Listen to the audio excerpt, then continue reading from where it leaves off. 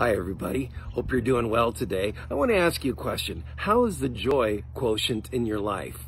Uh, it may be running on empty a little bit with all the frustrations that we have and things that we can't control, uh, things that are happening in our culture and society that uh, just drive us crazy. It can rob us of joy. So I've got to ask you again, what is the joy quotient in your life today?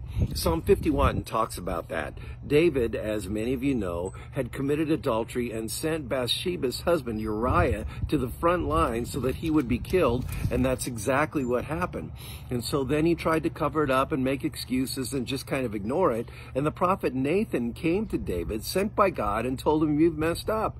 And so David wrote as a result of that Psalm 51. I'd encourage you to read it. But one of the things it says in Psalm 51, which is so powerful to me, is Restore unto me the joy of your salvation the joy of your salvation. If your joy quotient is running low today, think about this. Think about that. The fact that we have sinned and broken God's laws, and yet God in his amazing mercy and grace dispatched Jesus to this world to save us.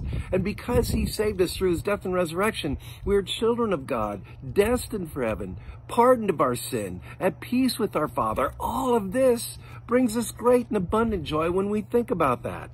Uh, this, the hymnist has said it so well. When I think that God, his son, not sparing, sent him to die, I scarce can take it in that on that cross, my burden gladly bearing, he bled and died to take away my sin. Then sings my soul, my Savior God to thee, how great thou art. We have an amazing, astounding, wonderful, incredible God who saved us through his son. And as a result of that, you can find joy today.